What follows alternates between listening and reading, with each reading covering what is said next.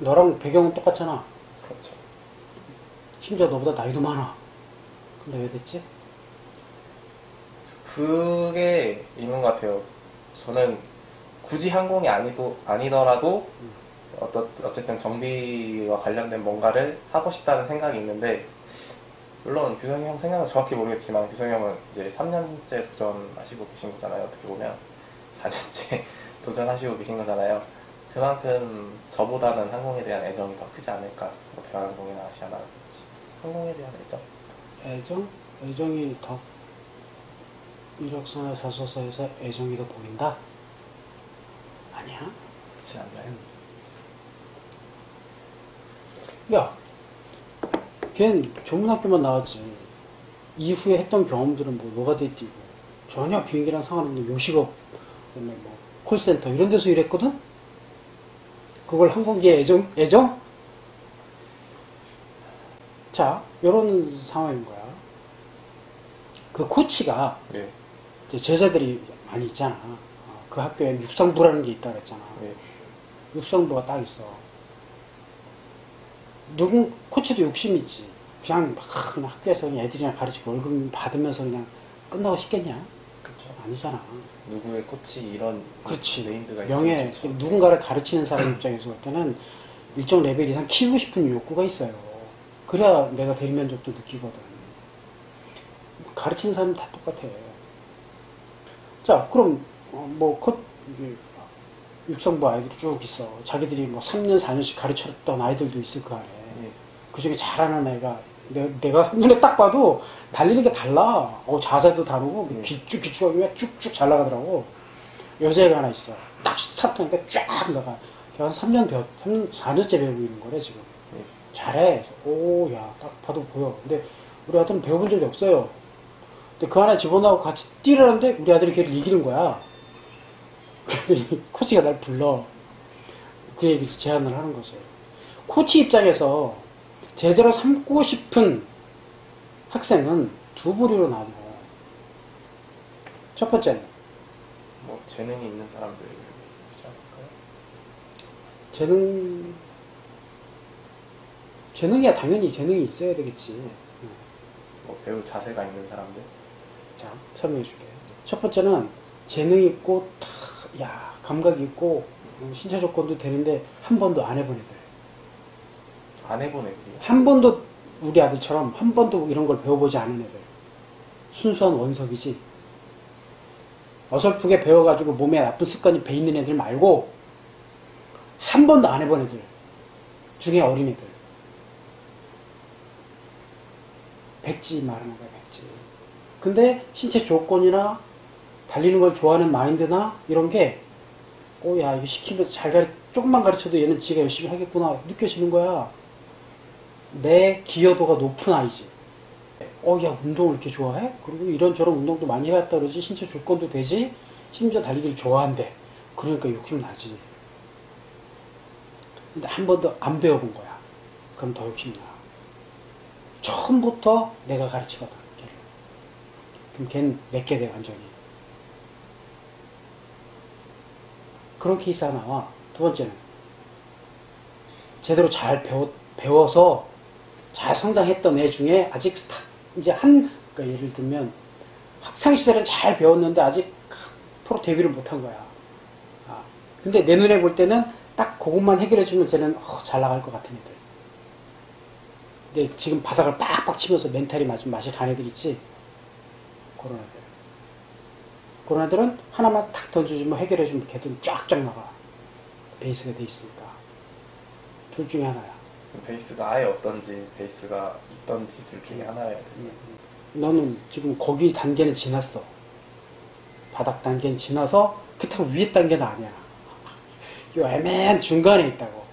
그래서 네가 지금부터라도 그런 사회적 경험들을 하면서 이 내공이 좀 쌓이면 위에 레벨이 올라갈 수 있겠지.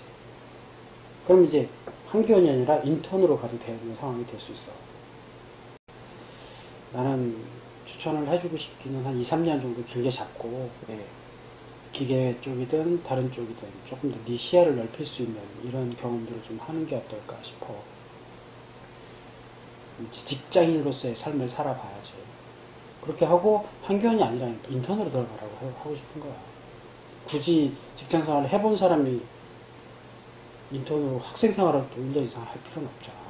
뭐 네가 하는 일, 네가 해볼 수 있는 경험, 뭐 이것도 물론 그 거기서 네가 해볼 수 있는 경험, 이것도 물론 큰 거지만 네. 그보다 더 큰 게 니네 사장님이야. 아, 알바인데 네가 그런 분을 만나는 건 정말 이 운이 굉장히 좋은 거야.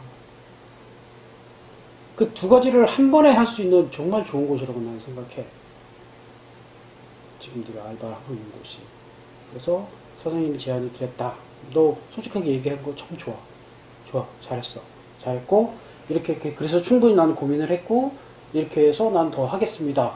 해갖고 거기서 최소 3년은 그 사장님한테 배우는 거. 난 이걸 추천해. 3년이요. 그 다음에 항공으로 가든 어디로 가든 이직 생각하는 거 그때쯤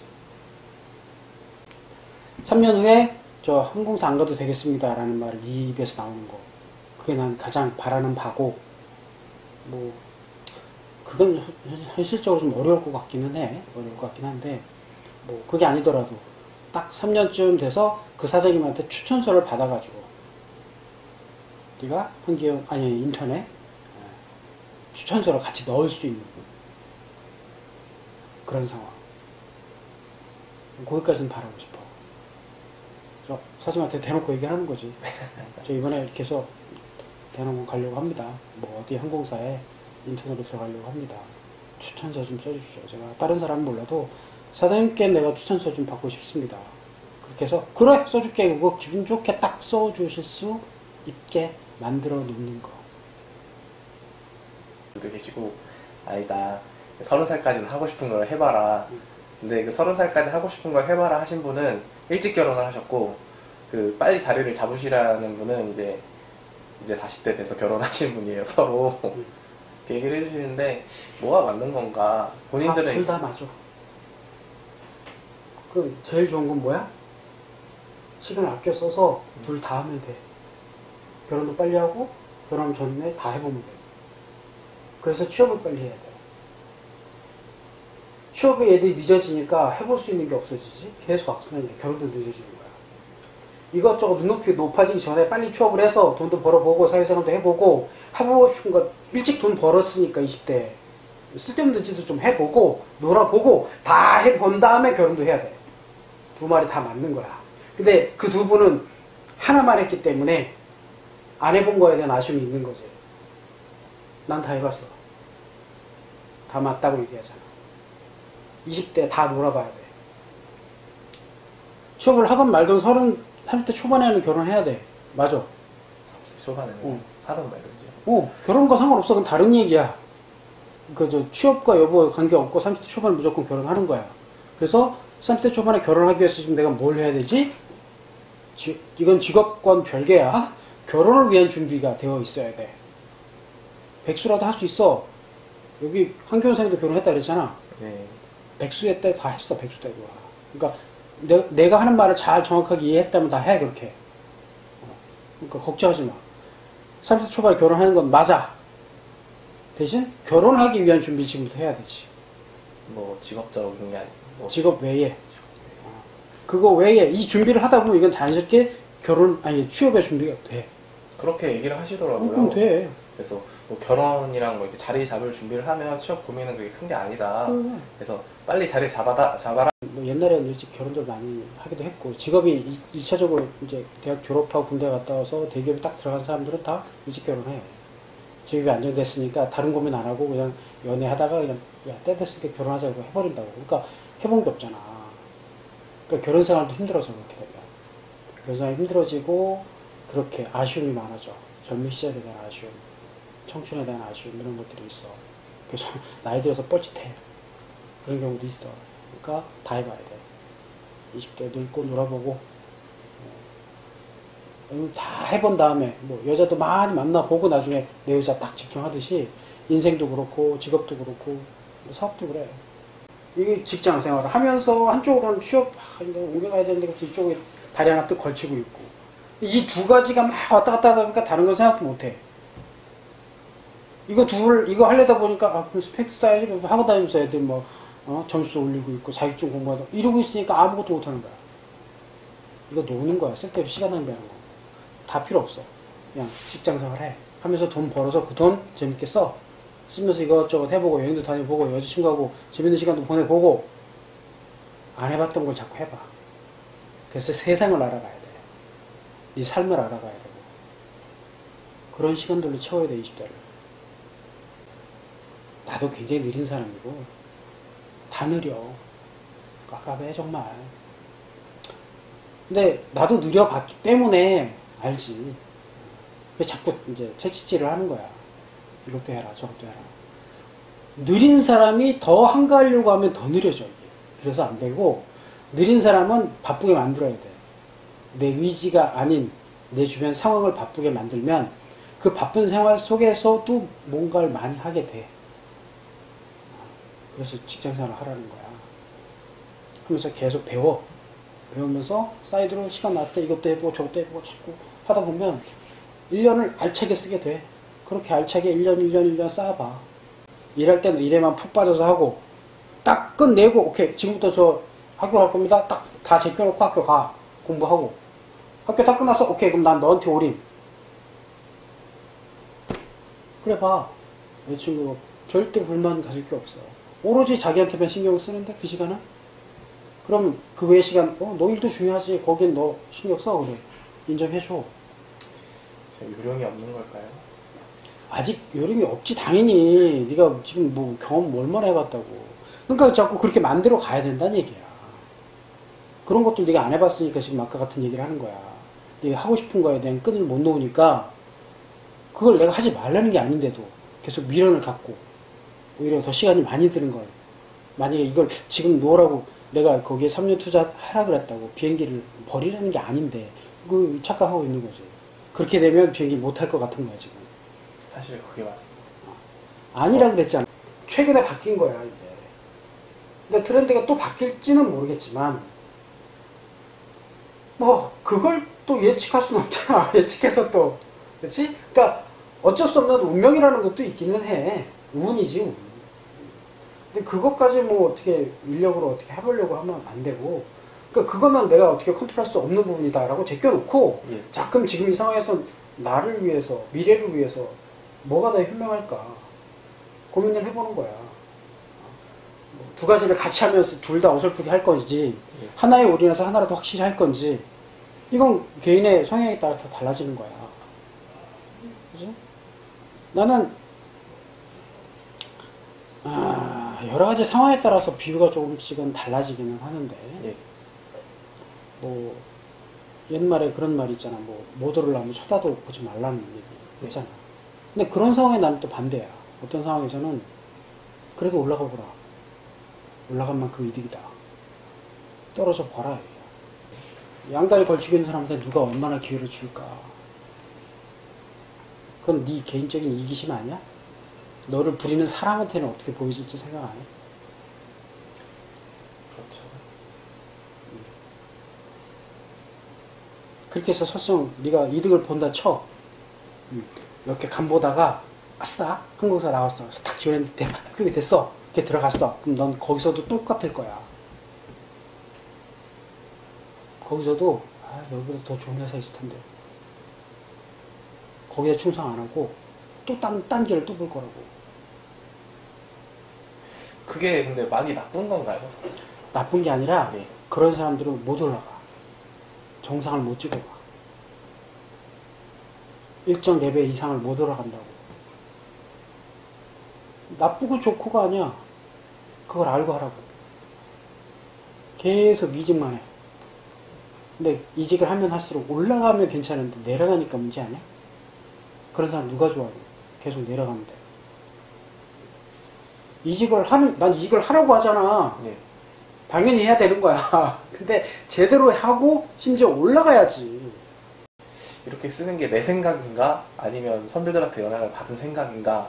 막 그런 고민도 들고 영향은 받지. 누구를 만나서 무슨 얘기를 듣고 네 생각이 굳어지거나 변화되거나 이런 것들이 분명히 생겨. 그, 근데 당연히 그게 생겨. 좋은 건가요? 나쁜 건가요? 뭐 그게 좋은 쪽으로 변하든 안 좋은 쪽으로 변하든 변하는 게 난 맞다고 봐. 그래서 결과적으로 네가 좋은 쪽으로 가려면 네가 볼 때 좋은 사람들을 많이 만나야지. 그래서 그 사람들한테 물 들어야지. 근데 네가 지금 만났던 선배들은 어, 걔들도 잘 모르는 애들이란 말이야. 이제 시작해서 뭐 얼마 되지도 않은 애들인데 걔들이 뭐 얼마나 많이 알겠어. 그 기준에서 판단하고 생각하는 것만 너한테 얘기해 주는 거지. 그러니까 걔들한테 네가 배울 건 따로 있는 건데 엉뚱한 질문을 하면서 엉뚱한 생각을 해서 그게 네가 이제 네 목표나 어, 개념이 조금씩 달라지고 있고 이런 것들이 이제 뭐 일종의 부작용이지 뭐. 뭐 그것도 좋은 거라고 봐. 뭐. 배울 게 따로 있다면 어떤 점을 내가 선배를 왜 만나라고 하겠니? 자기가 그 당시에 딱 느끼고 봤던 걸 그대로 얘기해줬다고 그게 진실이라고 봐? 아닐 수도 있어. 아닐 확률이 더 높고. 제가 생각한 거는 그래도 저 제 생각보다는 정답의 근사치라고 생각을 해가지고 아니야. 아니야. 본인이 왜 합격했는지도 몰라. 대부분 합격자들은. 자기가 추측하는 거지. 객관적인 데이터가 없잖아. 자기가 왜 떨어지는지 모르는 거하고 똑같아. 너도 네가 왜 떨어지는지 모르잖아. 그래서 이제 그거를 좀 알아볼까 해가지고 음. 여기 찾아본 거죠. 자기가 왜 붙었는지도 모른다니까. 당연히 모를 수밖에 없어. 자기밖에 모르니까. 다른 사람의 데이터를 모르잖아. 볼 수 있는 눈도 없고. 그건 항공사도 마찬가지야. 평균을 모른다고. 나만 알 수 있어, 그거는. 다 만나보니까. 난 객관적으로 보려고 하잖아. 그건 나만 알아. 다른 사람은 몰라. 알 수가 없어. 네가 그걸 알려면 들어가서 관련 업종 사람들 다 만나봐야 된다. 그럴 수 있냐고. 그리고 그걸 객관적으로 볼 수 있는 경험치나 노하우도 없단 말이야. 아직은 없어. 그걸 키워가야 되지. 나이가 들면서. 너도 사람이잖아. 음. 다 만나봐서 아 이거 참 마음에 든다. 그럼 그 하나만 딱 받아들여서 자기화시키면 돼. 다 가지려고 그러면 너 욕심이야. 안 돼. 인간이. 선택을 해야 돼. 이것도 좋고 저것도 좋고 이거 다 가지려고 하잖아 너 지금. 음, 네가 무슨 뭐 컴퓨터도 아니고 인공지능이고 로봇도 아니고 그게 돼? 뭐 프로그래밍 하고 탁 넣으면 되는 거 아니잖아. 아 참 좋다. 근데 저건 난 못할 것 같다. 그럼 버리면 돼. 아 좋다. 근데 저건 난 할 수 있을 것 같다. 그럼 그거 받아들여서 자기화 시키면 되지. 그게 너의 색깔이 만들어지는 거 아니야. 이것저것 섞다가 나중에 검정색 돼. 너의 색깔이 없어져. 어. 신뢰도를 더 쌓으려면 네가 경험치가 있어야 되고 네가 경험치로 말을 해줘야지. 그건 내가 저 신뢰도 있습니다라고 말해도 되는 게 아니야. 이런 기업에서는 이렇게 일을 했습니다라고 딱 증명을 해내야지. 그럼 그게 신뢰도지. 뭐. 그러니까 그런 이력을 만들어라는 거고. 애정- 기왕이면 조금 더. 음. 야, 떨어지는데 계속 도전했다고 그게 애정이냐? 어떻게 보면 애정으로 볼 수 있지 않을까요?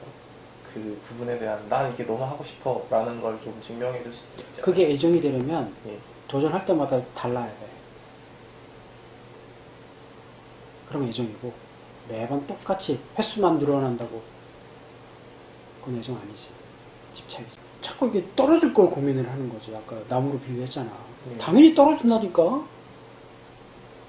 떨어지는 거 알고 일단 고민하지 말고 올라가란 얘기야. 최선을 다해서. 당연히 떨어져. 떨어지면서 배워야 되니까. 근데 떨어질 걸 겁내서 아, 저- 가능하면 안 떨어질 수 있는 나무가 어디 있을까 이러면서 생각하느라고 시간을 다 보내. 이게 바보 같은 거 아니냐는 얘기지. 안 떨어지는 나무가 어디 있어. 자꾸 올라가서 떨어져 봐야 안, 안 떨어지게 올라가지.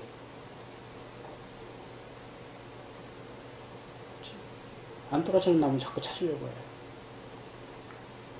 그래서 조금 더 큰 나무를 생각하는 거야.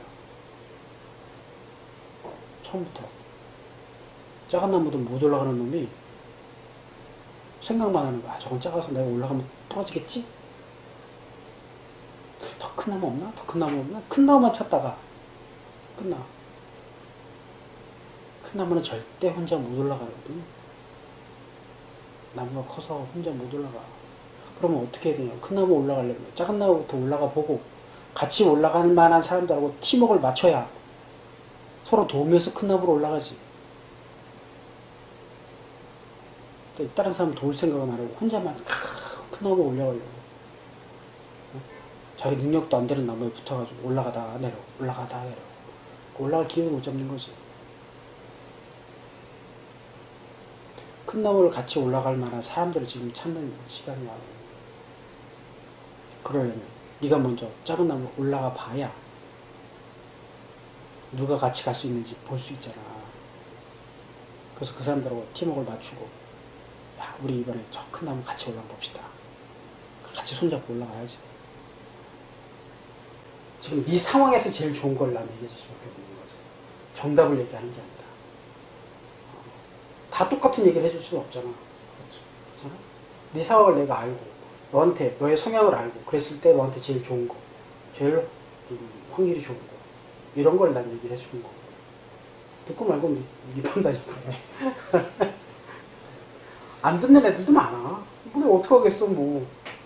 강요할 수도 없고 남의 인생 내가 책임질 수 있는 것도 아니고. 판단은 네가 하는 거야. 야 내가 여기서 여기를 가려고 하는데 일로 가든 일로 가든 뭔 의미가 있냐고 여기만 가면 되잖아. 근데 이 목적지가 없으니까 길만 중요한 거야. 이 길이 중요한지 이 길이 중요한지. 난 아- 아스팔트로 갈래. 나는 자갈길로 갈래. 난 뭐 모래길로 갈래. 아 모래길은 모래물로 더 싫어. 나는 그냥 아스팔트로 갈래. 그게 뭐 중요하냐고 어떤 길인지. 아스팔트는 아스팔트대로 장단점이 있고 모래는 모래대로 장단점이 있는 거야. 차를 타고 가든 걸어가든 자전거 타고 가든 아무 상관이 없어요. 여기만 가면 돼. 이게 중요한 거야. 어딜 갈 건지. 어떻게 갈 건지가 중요해. 어떤 길로 갈지는 중요하지 않아. 중심만 잘 잡고 있으면 어떤 길로 가도 내가 이쪽으로 가면서도 여기에 장점을 이해할 수 있어. 여길 보면서 가거든. 나하고 내가 잘 보이려고 노력하는 게 아니라 지금 나하고의 시간이, 나하고 보낸 시간이 도움이 되게 만들어주고 싶은 거지. 그래서 될 것 같은 애들도 일부러 좀 강하게 몰아붙이기도 하고 뭐 오히려 더 이제 승부욕을 자극시키기 위해서라도 막 떨어진다는 말도 하고 안 될 거야 뭐 이런 얘기도 하고 그래. 그건 이제 사람에 따라 다르긴 한데 뭐 그래서 이제 불필요한 오해를 하기도 해 걔들이 그렇죠. 아, 욕을 먹었다고. 뭐 그렇게 하는데 뭐 어쩌겠냐. 뭐 그렇다고 다 음, 걔들이 날 다 좋아하게. 물론 좋아하게 할 만한 내 방법을 내가 모르는 건 아니겠지만 그게 그들한테 무슨 의미가 있어 시간을 까먹는데 이제 그 까먹는 걸로 욕을 먹는 거예요. 근데 LCC가 그래. 체계, 체계가 없어서. 음. 뭘 소- 사람 소수의 인원이 많은 일을 해야 되니까 그럴 수밖에 없고 대기업으로 가면 다수의 인원이 작은, 각자 맡은 업무만 하면 되니까 체계가 있고 합리적으로 가지 근데 이게 좋아 이게 좋아 특수성이 있는 게 좋지 않을까요? 어쨌든. 둘 다 해봐야 돼. 어디서 하든 상관은 없어. 넌 지금 사람이 좋으니까 내가 그래서 얘기하는 거야. 거기서 뭐 기능적으로 뭘 배우고 이거는 두 번째고 어, 너 네가 지금 같이 일하고 있는 사람들한테 배울 게 굉장히 크기 때문에 그거 배우고 더 많은 기회를 얻을 수 있는 시간으로 채우라는 얘기지. 거기서 네가 뭐 게스켓 몇 번 교환하고 뭐 기계 좀 만져봤다고 그걸 가서 얼마나 어필할 거야. 그거 아니야. 그런 그런 건 다 제껴두고 그러면 그래. 어차피 얻어 터지고 저 뭐 배우는 거 괜찮아. 배워도 돼. 좀 늦게 배워도 돼 그런 거. 조직 생활을 만들어 봐야 되고 진짜 알짜 알짜를 배워갖고 나와야 돼. 그건 그 사장님하고 사람들하고 관계 속에서 만들어질 거야. 그리고 거기서 네가 그런 사람들하고 그 괴팍하고 말도 안 되는 그런 조건에서 3년을 근무했어. 그것도 잘 추천서까지 받아 나왔어. 그럼 볼 거 없는 거야.